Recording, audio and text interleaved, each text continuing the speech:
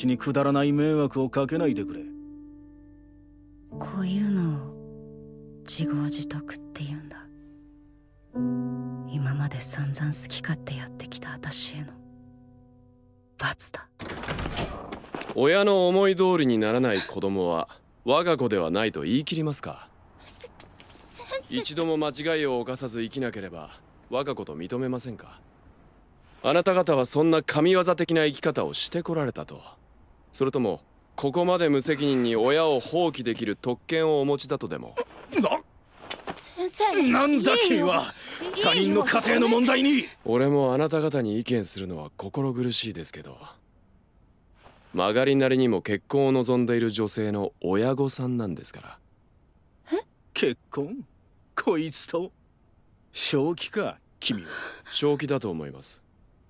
少なくともあなたよりは反対されますか？物好きな奴もいるものだ。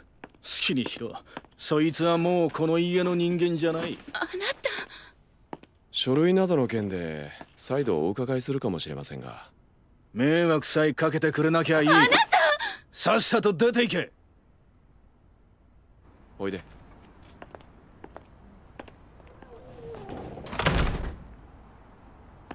突然音信不通になったので心配しました。先生。仕方がないので電話をしたら君のお母さんが今日退院すると言って先生。まさかそんな目に遭っていたとはね。か勝也。さっきさっきの本気じゃないよね。本気です。あんな形のプロポーズになってしまってすみませんいいいよ。そこまでしてくれなくていいよ。そこまで面倒見てくれなくたって放り出していいんだ。私もう十分だから。もう大丈夫だから。だからそこまでしてくれなくたっていいんだよ。心外ですね。俺が哀れみから言っていると思ってるんですか？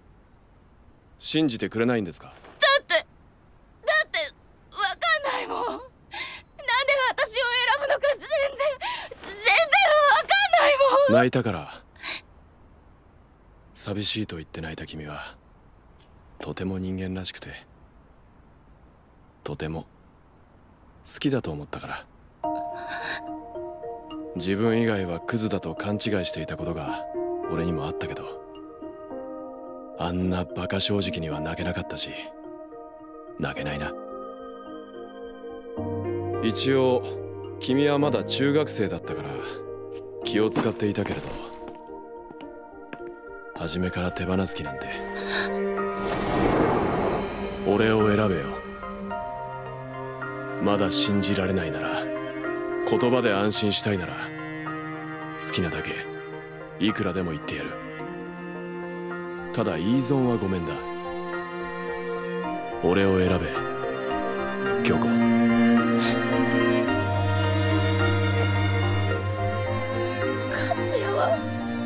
ロリコンなの。どこでそんな単語を覚えてくるんですか？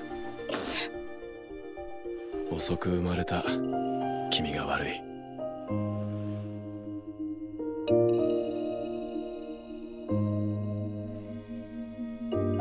確かに。勝也に先生は向いて